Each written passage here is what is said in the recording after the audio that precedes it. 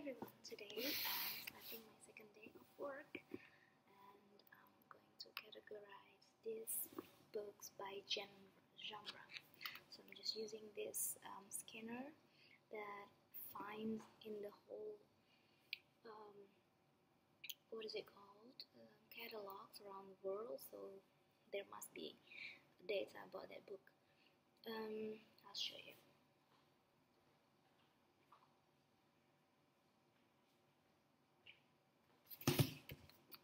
Louis Sachar.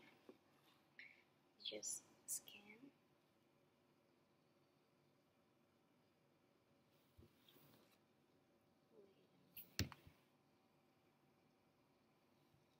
It's called book catalog. Add book. Scan barcode. And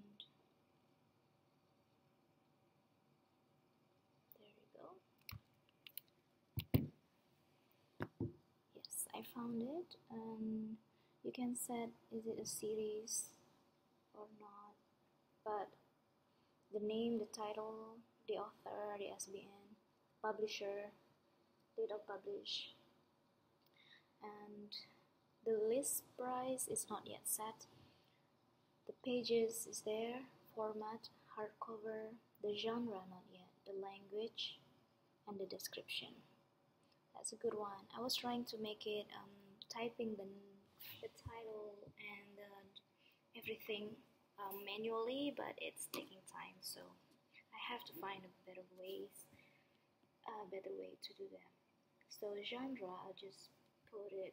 If I'm not sure, I can I can find out. But for now, I'll just put it as. Mm, it's not a young adult put for now